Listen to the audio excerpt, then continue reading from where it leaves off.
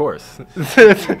um, everyone's lying if they don't, you know, look back. Um, but just, you know, what I've been through, you know, over the last year, just losing the velo like that, knowing I'm making strides ever since I got to spring training here and just improving every day, getting that velo up in my bullpens and my live BPs. And, you know, I just thought today, I just, you know, I, I have something in me. I know it's, I know it's in there, you know, and I, you know, saw a couple 96, 97s and I'm just, you know, I, I could tell a couple guys I could cry right now. Just very happy on overall the progress that, that has been made, and I know that is me. And if I can get back to that type of pitching, I can be, um, I'm very dangerous in this game. And um, like I said, we're just taking the right steps right now. But I was definitely, definitely peeking and peeking on a few there. Yes, sir. yeah, I mean, the follow-up was going to be, I guess it had to be really reassuring to see that, that it was coming out as live as, as everybody's been talking about. Yeah. Um, because this literally last year I just literally don't know what happened. Um,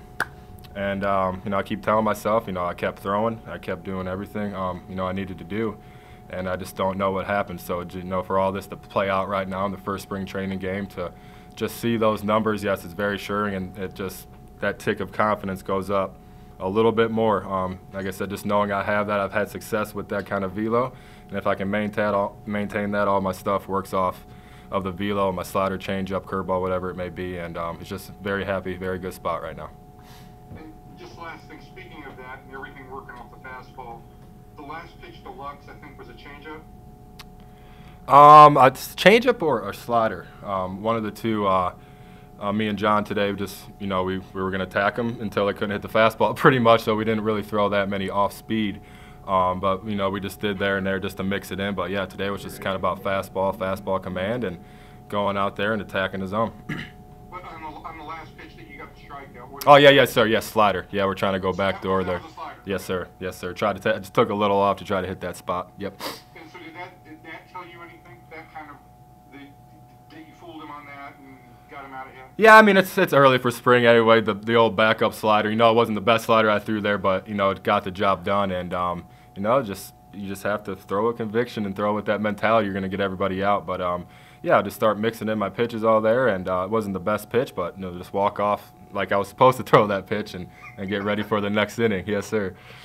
Perfect. Thank you, man. Yes, sir. Okay, we'll go to Kennedi Landry, Texas Rain, MLB.com.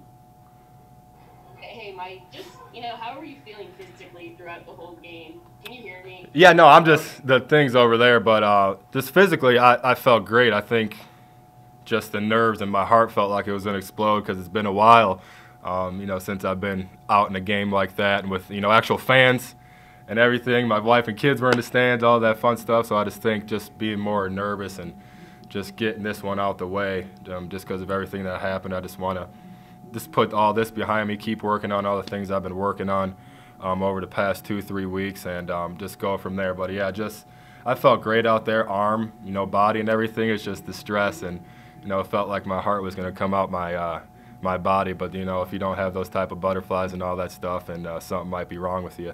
Um, but overall, it's just you know, I feel like a kid again out there. Um, you know, just being comfortable with this team and just be able to do, you know, what I need to do to get ready every day, and, you know, just to be myself. That translates out into the mound, and you know, good things start to happen. So. You said your your wife and your kids are here. Uh, you know, what does that mean for you to be able to, you know, like you said, get back out there and you know have fun on the mound? I guess. It, it means a lot because my son actually turned three. Uh, my daughter's two, and they're actually starting to realize, like, hey, daddy's a baseball player. You know, he's out on the field you know, my son finally recognized me out there today, and it's just, you know, those kind of heartwarming things that kind of takes your mind away from baseball a little bit, and you know, you just, you know, think about, um, you know, how good your life is and all that stuff, and just them be able to be here um, to support me, you know, especially during these times, and um, coming all the way to Atlanta just to be here with me and support me and come to these games, and um, it means the world because just, you know, overall last year my son, my family didn't get to come to any games, and um, you know, he's just been itching to come out to some baseball, the whole family, um, really. So it's just, you know, that brought a, you know, a smile to my face, and it just makes me, you know, want to go out there, feels the fire a little bit, feels the fire a little bit more when I go out there and warm up and, uh, you know, get ready to enter the game. And just knowing he's watching his dad, you know, play some baseball, it's uh, pretty dang cool. Awesome. Thanks, Mike. Thank you. Okay, Jeff Wilson, Fort Worth Star Telegram. Hey, Mike. Um, yeah, the, the terms of your contract for this year are one year, but it's really it's really two years, and and, and who knows if you pitch well, maybe it gets gets longer than that. But I, I guess that's how you looked at it, maybe a two-year deal. Get let them do what they got to do this year, and then maybe next year you're part of a contender. Yes, sir. Um, yeah, because that was the whole part, you know, of me coming over, you know, with this team is, you know, I know everyone was just looking for those one year's deals or whatever, but I just want to be comfortable. Um, you know, once the front office and I talked a little bit this offseason, it was kind of a place where I wanted to be, and um, I knew a few familiar uh, faces over here, and just the talks Woody and Doug have had with all of us, and just we're going to be a pretty dang good ball club this year and for years to come. And like you said, you know, I just hope this isn't a one-year deal, um, you know, because the staff, front office, like all the players have just treated me, you know, nothing but respect. So nice ever since I got over here, and that's what I kind of touched on before, is just being comfortable um, and just having that confidence, and that's just what makes you a team. And uh, just go out there and have fun individually as well.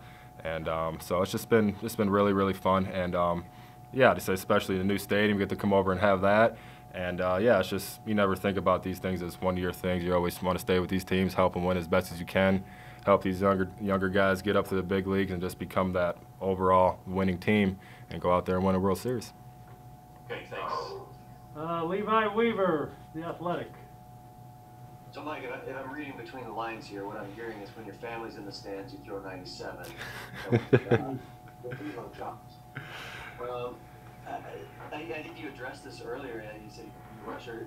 Is it? Do you think it's just the difference in weight gain that is that has happened, or are you truly just completely perplexed by why the velo dipped and is back now? Um, it's a little bit of both. Like I kind of the only thing I didn't really work out, um, you know, during that that COVID period of time. Um, you know, but ever since the off season hit, you know, even during the last year when I was in Gwinnett, um, this off season and just coming here and working out, like I said, I you know gained a solid eight pounds already again. Um, just getting that weight back, getting that velo back, figuring out a few things in mechanics wise. I just wasn't using my legs, period. Um, you know, maybe the last year, so that just added how many miles an hour right there. You know, I'm almost two, three, four miles an hour, and just you know just having that drive and just get going and just having that body loose and just you know, going down that mound and all that thing. But yeah, the family, it's family in the stands helps a little bit. Um, you know, you want to show off and all that, but just yeah, just knowing, you know, I turned around and you know the first pitch was 95, whatever like that. It's just okay. I can take that, take that deep breath and just go out there and and attack and just go out there and use all my stuff because, like I said before, the stuff just plays off my fastball when I when I have that kind of velo. And um, you know, you get weak contact, strikeouts, whatever it may be, and uh, you just you just have fun. You just start having fun again in, in the game of baseball.